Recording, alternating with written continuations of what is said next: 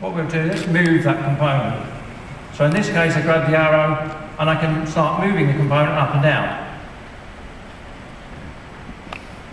Okay?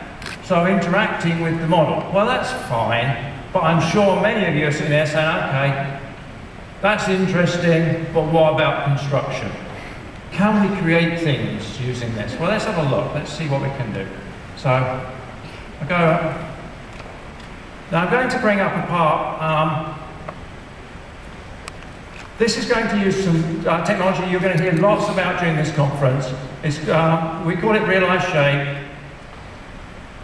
And when my and what it allows me to do is very fast surface uh, uh, uh, definition. So in this case, what I'm going to do is work with this cage, pick this up, and um, let's grab the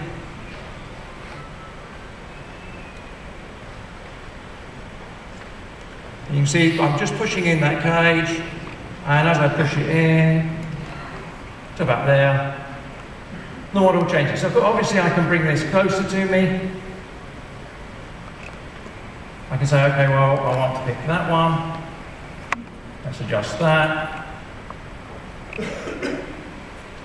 Um, let's do this. Let's go pick this face up. Let's push this one